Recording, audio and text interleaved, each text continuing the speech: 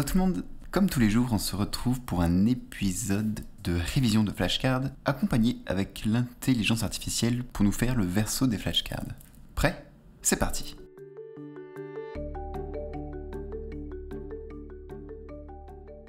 C'est quoi un monosaccharide Alors, du coup, les monosaccharides, ce sont la forme la plus simple d'hydrate de carbone, plus communément appelée sucre ou glucides. Pour entrer un peu plus dans les détails, on entend mono dans monosaccharide, donc c'est qu'il y, en a un, un quoi Un ose, un seul ose, qui fait que c'est la forme de glucides la plus simple. Comme exemple de forme de glucides les plus simples, on a le glucose, à ne pas confondre avec les glucides. On a le galactose, le fructose et d'autres que je connais moins comme ça de tête. Et en fait, en se combinant avec d'autres styles de sucre, on a des combinaisons plus ou moins grandes qui déterminent leur identité glucidique. Par exemple, si on prend le galactose et qu'on le fusionne avec le glucose, ça donne le lactose, le sucre du lait. Du coup, avec cette combinaison, le lactose devient un sucre appelé disaccharide. Donc le lactose est bien un sucre et non une protéine comme on peut l'entendre régulièrement. Petite dédicace à Magali Gastro. On pourra aborder les différentes formes de sucre sur d'autres flashcards, comme celles-ci les disaccharides, mais aussi les polysaccharides, qui sont hyper intéressants. Voilà, voilà, vérification. C'est quoi un monosaccharide? Un monosaccharide est une molécule simple de sucre, la plus basique des unités de glucides. Imagine un monosaccharide comme une brique élémentaire dans le monde complexe des glucides.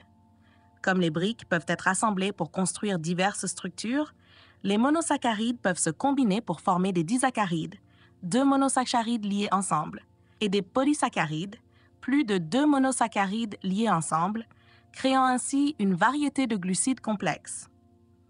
Les monosaccharides jouent un rôle clé dans le métabolisme, agissant comme des sources d'énergie immédiate pour les cellules. Le glucose, par exemple, est un monosaccharide essentiel qui sert de source d'énergie primaire pour notre corps. Le terme monosaccharide est dérivé du grec mono signifiant un et saccharide du grec sakcharon signifiant sucre. En somme, monosaccharide signifie littéralement un sucre. Humour et engagement.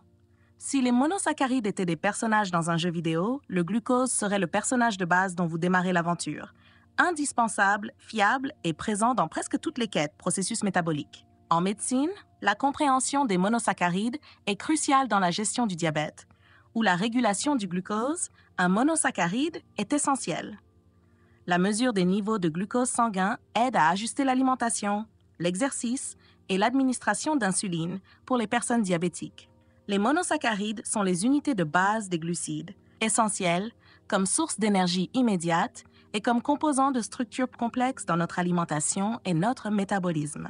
Quel est le rôle principal du glucose dans le corps? Euh, ben, Du coup, comme tu l'as abordé dans la conclusion, euh, le glucose est une source d'énergie essentielle pour le métabolisme. D'ailleurs, tu as dit euh, source d'énergie immédiate, précisément immédiate. Et c'est intéressant de préciser ça parce que euh, quand on compare aux, deux autres sources principales d'énergie, que sont euh, les macronutriments lipides et protéines, on observe bien que c'est un carburant plus efficace imméditement. D'ailleurs, le cerveau, même s'il est très lipidique, très demandeur de glucose.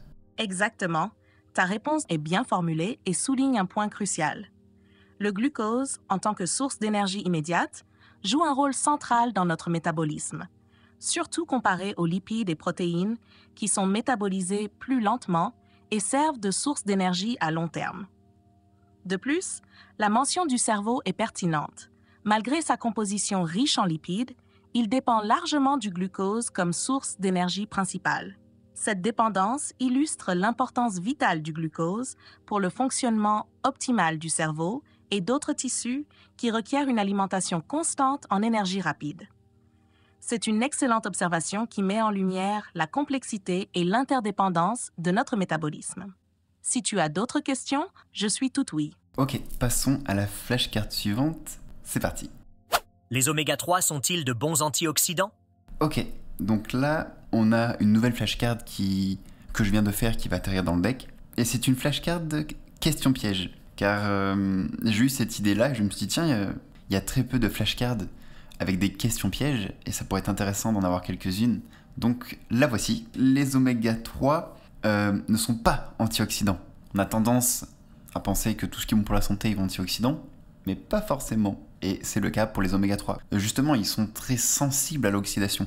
C'est pour ça que les graines de lin, les graines de chia ou même le poisson rancit plus rapidement que euh, les graisses saturées.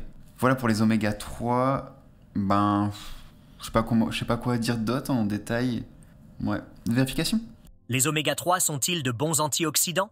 Non, les oméga 3 ne sont pas considérés comme des antioxydants.